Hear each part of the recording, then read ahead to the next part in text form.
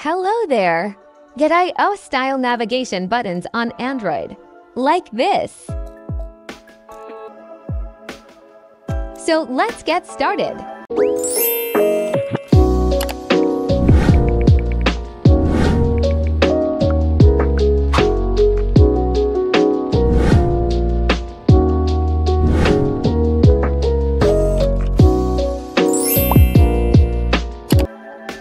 So here's my current device. And here's my original navigation buttons.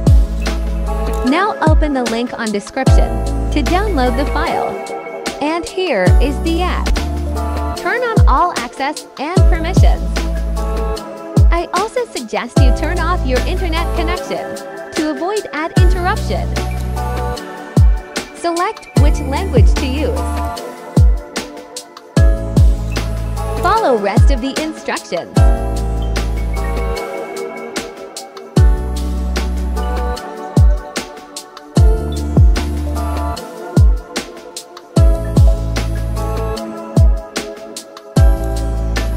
And you're ready to go.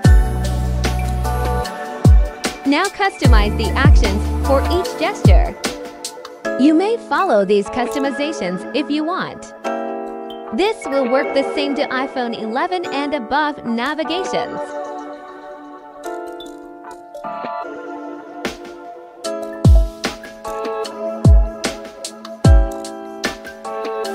So here, we now have two navigation buttons. Let's turn off or hide the default one first. Go to Settings and search Navigation.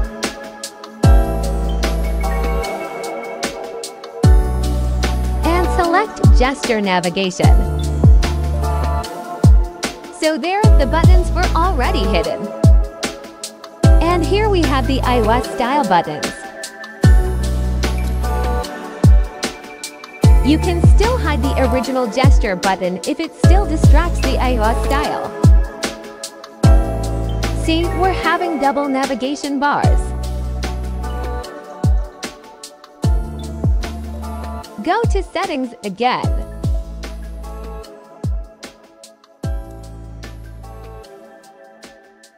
So here, no more double navigations.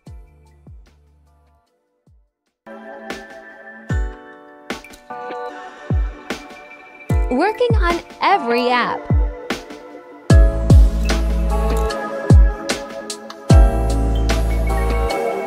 Plus functions work the same like in iPhone.